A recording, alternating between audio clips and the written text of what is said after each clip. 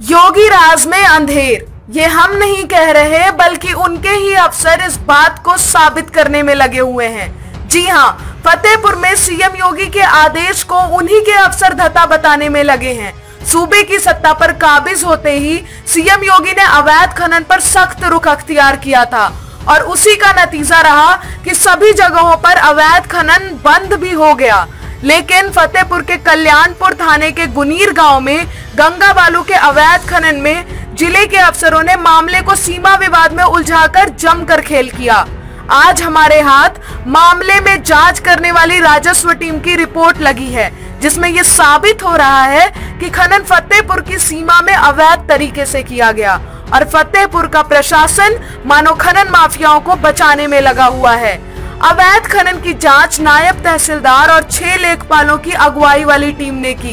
Team ने अपनी report में बकायदा इस बात का ज़िक्र तक किया कि फतेहपुर के गुनीर गाँव में गंगा बालू का 11,500 घन मीटर ज़मीन पर अवैध तरीके से खनन किया गया है। और हद तो तब हो गई जब फतेहपुर के अफसर अपनी टीम की जाँच रिपोर्ट को ना मानकर खनन को वैध बताने लगे हैं।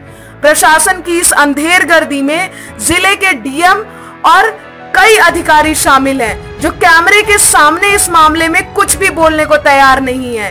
देखिए फतेहपुर से धीरेन्द्र प्रताप सिंह की ये रिपोर्ट।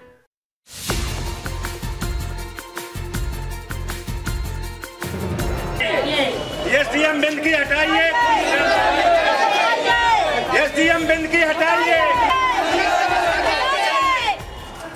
बिंद की हटाइए। एसडीएम बिंद की हटाइए कुनीर के किसानों को बचाइए गरीबों को बचाइए गुनीर के किसानों को बचाइए। खनन माफिया को दूर करें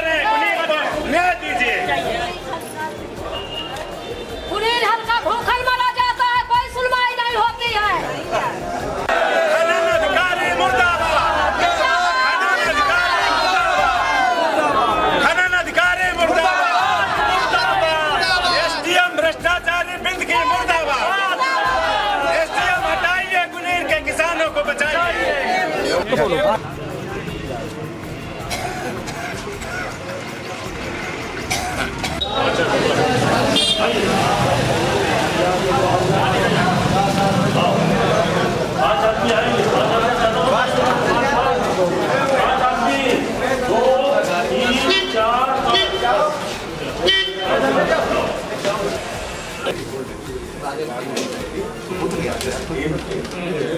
नहीं नहीं घोषित करने में थोड़ी कठिनाई होगी ना वो अनुमति लेनी पड़ेगी। रिपोर्ट बन रही है रिपोर्ट बन रही है। थोड़ा दो चार दिन टाइम लगता है। एक तो नहीं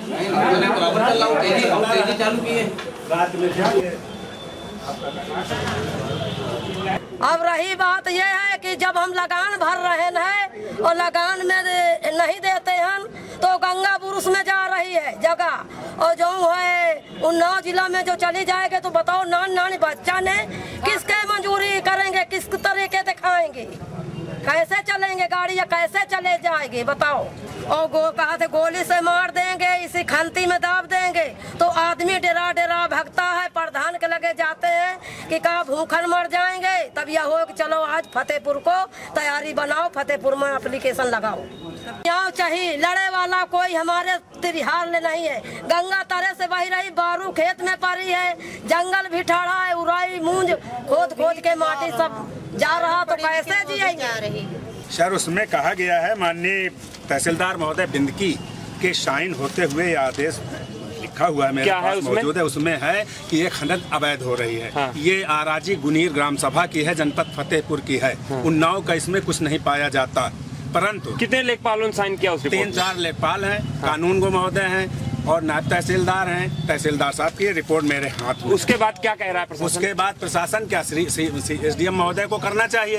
एसडीएम महोदय कुछ करते नहीं एसडीएम महोदय गुप्त व्यवस्था करते हैं रात में बैठालते हैं खनन पार्टी को और बैठाल करके क्या तय कर लेते हैं? हमें कोई डिसीज़न देते नहीं। रात में जो है फिर हम लोगों को जानकारी मिली तमाम जो है चारों तरफ़ दौड़ भाग किया। किसानों की फ़सलें बर्बाद हुई है वहाँ? वहाँ करीब पाँच सात लोग तो बिल्कुल जो है जिनकी जला ही दी गई है और लपेट में तो आ रहे हैं नुकसान कितने रुपए का हुआ लगभग।